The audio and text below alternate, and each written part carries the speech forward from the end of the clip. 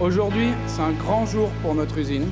Nous célébrons l'inauguration des nouvelles lignes de production pour notre nouvelle A110. Je veux avoir le même blouson. Bonjour, monsieur le ministre. Bonjour, vous allez bien Très bien, vous-même Bonjour Monsieur le ministre. Bienvenue dans l'usine de Kevin. Depuis 50 ans, entre ces murs, les femmes et les hommes partagent l'esprit du sport automobile. Ils se transmettent le savoir-faire d'une fabrication en petite série. Peu de volume, beaucoup de passion. Vous ne fabriquez pas une voiture, vous fabriquez une légende. C'est totalement différent. Ici, vous montrez une chose simple. L'industrie française a de l'avenir. Et un bel avenir. Aujourd'hui, nous sommes prêts. Les premiers modèles vont sortir.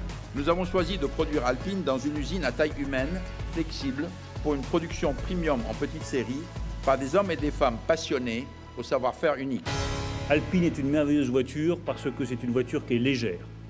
Structure totalement aluminium, moteur ultra performant. Tout ça, ça demande des technologies, ça demande de l'innovation.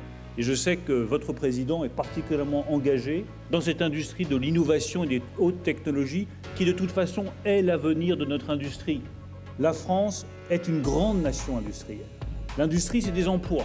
3500 emplois industriels créés par Renault sur le sol français en 2017. Réindustrialiser la France, c'est aussi faire le choix de l'innovation.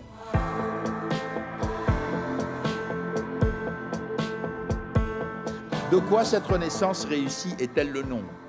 De la force du symbole, d'un territoire et de ses hommes, si l'on veille à en préserver la culture, le savoir-faire et l'histoire. C'est vraiment un beau succès. Cette renaissance est aussi le signe de la force des alliances, des partenariats et du travail en commun.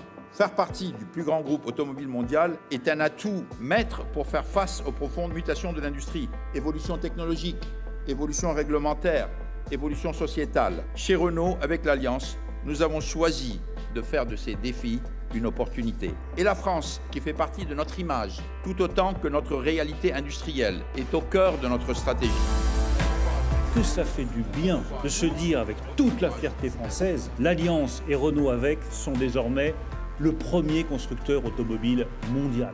Le site de Dieppe, tout comme le succès du groupe Renault dans le monde, sont la preuve que l'industrie automobile française reste attractive, reste compétitive et qu'il est de notre responsabilité à tous de la défendre.